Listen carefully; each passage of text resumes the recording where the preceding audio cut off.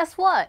Girls are experiencing puberty earlier. I know, right? Okay, so here's a quick timeline. In 1860, around when my grandmother's grandmother, Margaret Ross, was born, what a babe, girls hit puberty at around 16 years old. By the time my grandmother Nana Heather was born, that age had dropped to 14 years old. And when my mummy, Mama Sheens, was born, that average age had dropped to around 10 years old. And today, if I'd had a baby, baby Jayde would have hit puberty at around 9 years old, which would have been considered freakishly early even 100 years ago when my great great grandmother Margaret was alive. Now I know what you're gonna say. Duh, we already know this. It's because they're eating chicken which has hormones in it. And to this I say, no, we don't put hormones in chicken in the US, it's not legal. We explain this in another video. So if it's not hormones, then why? Yeah, that's an interesting question.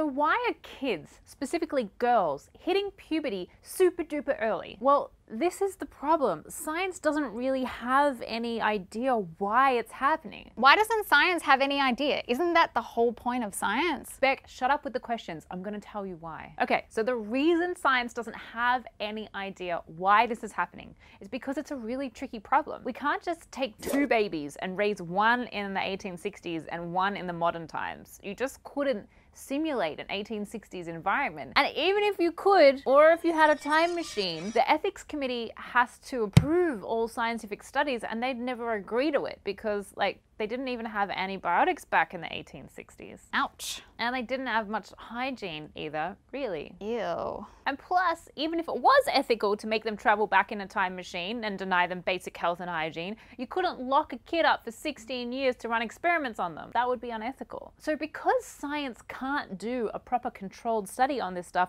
we can only try and look at correlations. Like, for example, obesity. See, there's more fat kids than ever before, and puberty is happening earlier than ever before. So maybe having more fat on our bodies at an earlier age might have something to do with it. That's what scientists at the Virginia School of Medicine suggested in 2010. Or maybe it's all the stresses of the modern education system. That's what scientists at the University of Texas discussed in 2007. Or maybe it's all the chemicals we have in our environment now, like BPA, which is a chemical that can mimic estrogen and is found everywhere in plastics, paper, canned food, receipts, all that sort of stuff. That's what scientists in Turkey suggested in 2011. Okay, so we don't know why girls are hitting puberty early, but so what? I mean, does it really even matter? Well, here's the problem. This change, hitting puberty seven years earlier than normal, might be no big deal, but it might also be a sign of something absolutely catastrophic. We don't know what's causing this change. It could be that there's some chemical in our environment that's slowly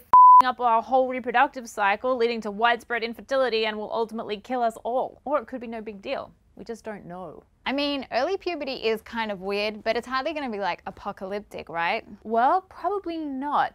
But early puberty just sucks for the kids dealing with it. Think of it, half of all nine year old girls are now growing boobs and some are starting to have their periods. That's just super duper early for their body to be changing compared to how mature their mind is. It's really young for girls to be dealing with tampons and understanding periods and pregnancy and what sex is and all of that stuff. But in addition to the psychological element, early puberty can also be bad for your health later in life. What science does know is that girls who hit puberty have a 30% increase in risk of breast cancer later in life. They're also more likely to get pregnant as teenagers, suffer from HPV, heart disease, diabetes, and something called all cause mortality, which just means that they're going to die earlier from anything. That sucks. Early puberty ain't great for your mental health either. Girls who develop earlier are at greater risk of depression, are more likely to drink, smoke, and have sex earlier. Now, that's not to say early puberty causes all of those problems, but there are some disturbing correlations. So, in conclusion, girls are hitting puberty earlier, and science really has no idea why. What do you guys think? Are you worried about kids becoming adults sooner than they used to? Or do you have your own ideas about why it's happening? Let us know in the comments below. Hi everyone, I'm Jayde Lovell, resident science nerd on the Young Turks Network. You're watching ScIQ and we know you don't want to miss an episode, so please click the subscribe button down below.